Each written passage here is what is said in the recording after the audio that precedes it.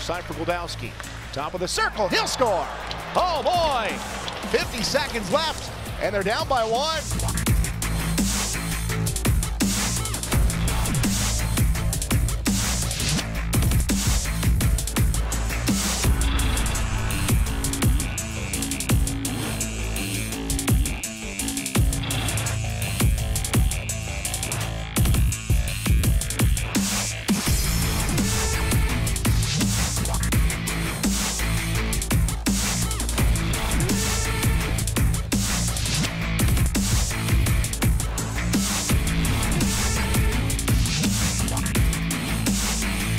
Poking at it into the slot area. McGregor drops. Kramer shoots, and he scores.